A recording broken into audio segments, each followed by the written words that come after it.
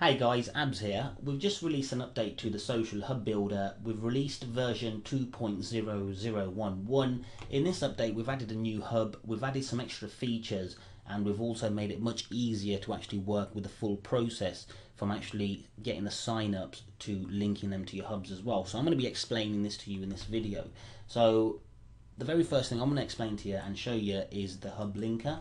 We've added a new hub called scoop.it and we've also changed the way that the system works or the way you enter your user details for these actual hubs. So previously the only way to actually add details to these hubs was to click on the edit details down here and you can add your details that way. Now you can actually copy and paste your details in here by using the control C and control V um, keys on your keypad on your keyboard. Um, okay, and to find out if the hub actually requires a username or the email, all you have to do is actually hover over that, and with all, and it will actually tell you what it requires. So, for example, HelloTxt it requires an email ID. PixelPipe Twitter requires a username.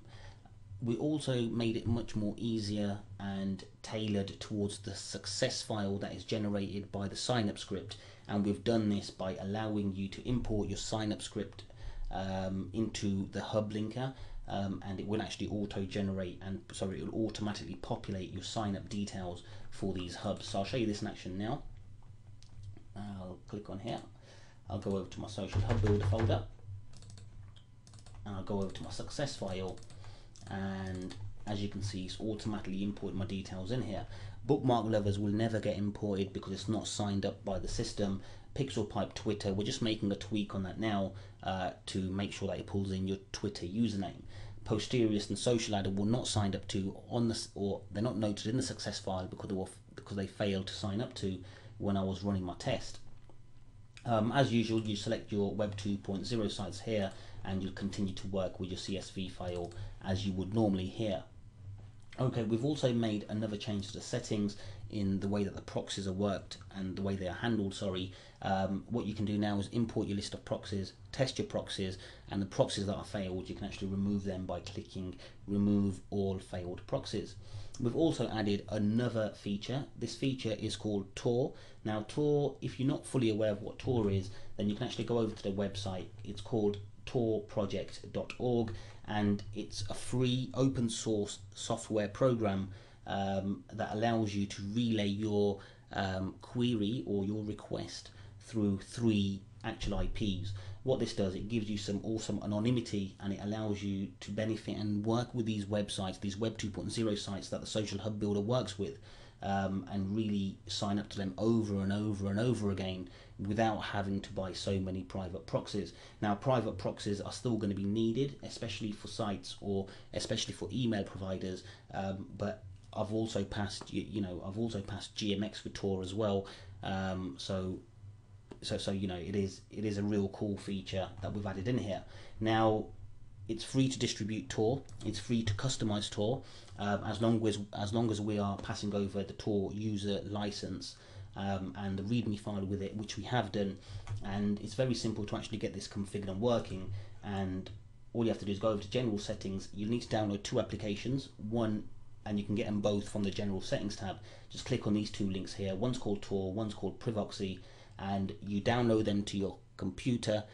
Extract unzip the folder anywhere you want. So in your my programs folder on your desktop or anywhere you want to actually keep them folders. And all you need to do is come back to come back over to general settings and tell the software exactly where the exe files are located. So for example tor exe I'll click on select. I'll go over to desktop because that's where I've actually extracted the tor folder that I downloaded and I've and I've actually saved it into a folder called tor. So here we go and I'm going to look for the Tor application and I'm going to click on that. Privoxy exactly the same. I've actually saved it on my desktop in a folder called Priv.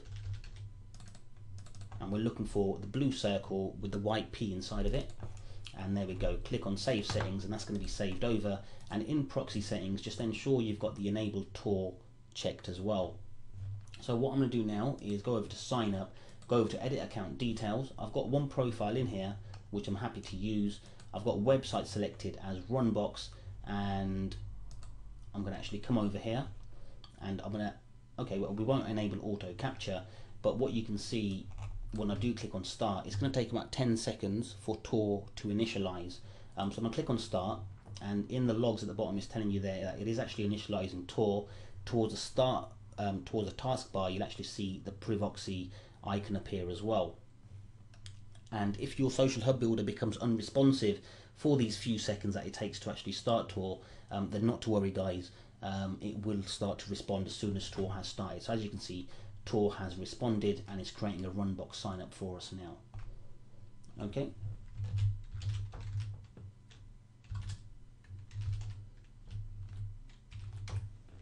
And submit. Okay, now Tor can be a little slower than your normal connection, and the reason behind that, guys, is because it's making a request or it's passing your request over between three IPs. Um, and there you go, we've actually passed Runbox.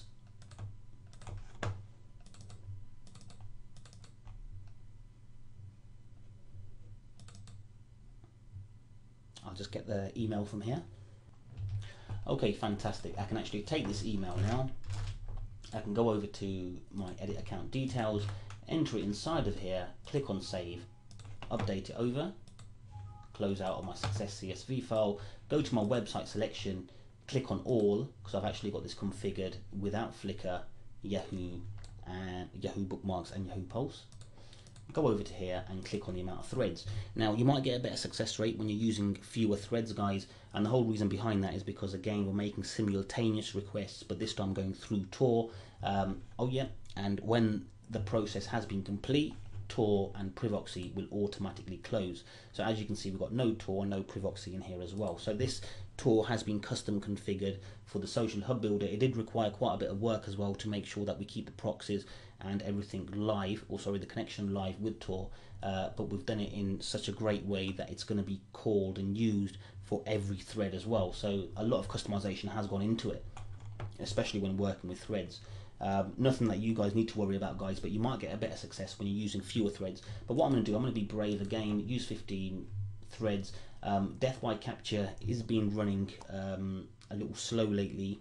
Um, but let's see what we let's see what we can get. So I'm gonna click on start. Again, it's gonna initialize it's initializing Tor again, and as you can see, Privoxy has started.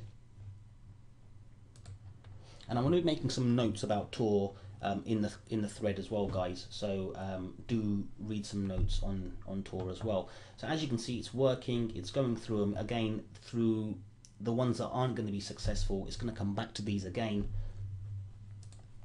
and as you can see we're actually signing up to all of these now using Tor. Um, okay, so this is one, this is another change that we've made. Let me just go over to release notes and make you aware of some other changes as well.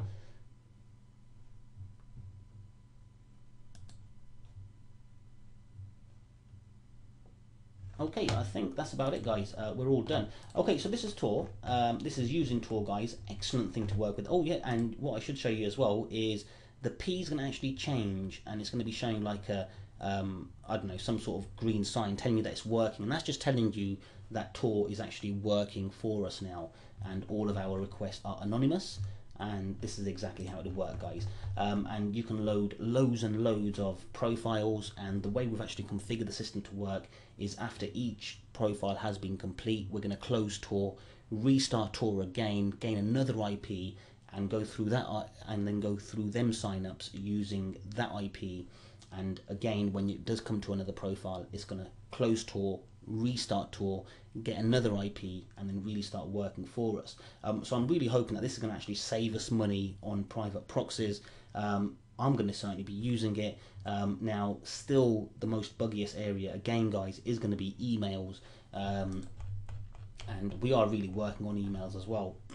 um, but as you can see, guys, this is still working. Um, it is normally a bit quicker for my own IP when I'm not using Tor, um, but it's working a treat, and it should.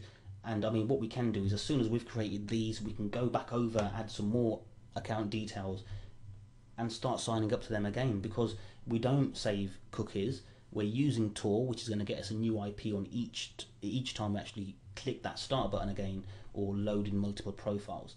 Um, okay guys, this is the new update and I hope you enjoy it. Um, now, if you get any issues with Tor, um, or if you get any issues with your antivirus or your firewall, guys, then it's very important you understand that Tor uses a number of ports and um, you will need to configure Tor properly. Um, and to configure Tor properly, you should be using the Tor project forum. Um, other than that, we've done everything we can to configure the social hub builder with Tor, and it's working a treat as long as you configure Tor if you have any issues on your computer. For me, I use the Super Anti spyware. I use McAfee um, antivirus protection as well. I've got a firewall and I didn't have any issues with Tor whatsoever. Okay, guys, so this is the Social Hub Builder using Tor, and um, of course, you got the other hub in there as well. Thank you very much, and I hope you enjoy the new updates.